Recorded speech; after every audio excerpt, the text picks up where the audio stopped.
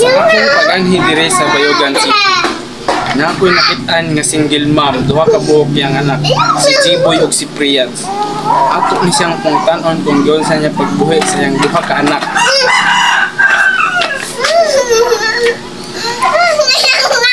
Isa na.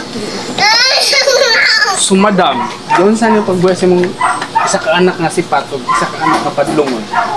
Isa pa din sa nakakabuhi. Di ipakaon. Ano sa imong gipakawalan na sila, bato o balas? Kano kay pataka lagi kag istorya dong.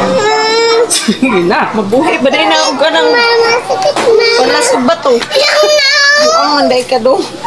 Doon diri Jiboy, kay ikaduhang anak man ka. Dali diri. Dali dali jiboy. Dayon. Ay, dayon. Ano may mong anak isa, madam. Tagaw na, madam. Tagaw na Dali diri. Dali diri dong, dali diri dong. Dili lagi sila kay malawan mga Maulo, maulo din na sila, madam. Na ako'y giyan sa madam kay manghatag kong tabang.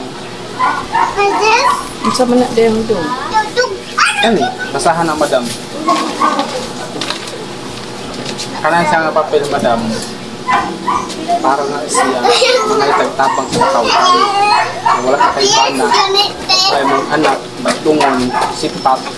Na ikaw rin na nagbuhi. So, maligyan kag tangkong, maligyan kag gula. Para puro ng anak, kag pagwapa. Ngayon kag tabang sa mga tauhan. Saan may kasulti, madam?